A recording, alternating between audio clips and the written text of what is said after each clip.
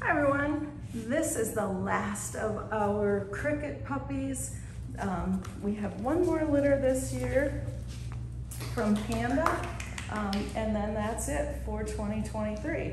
So if anybody is looking for a sheepadoodle, this one is one of the cutest.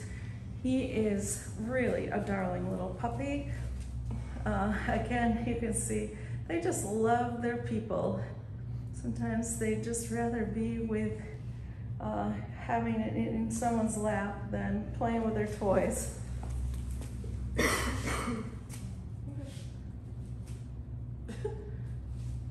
just wants to be in Addison's lap this morning. But let's get a close-up of his face. You can see his nose is starting to fill in.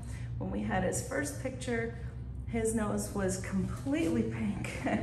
and just like they all do, is filling in and it will completely be black within a couple of months.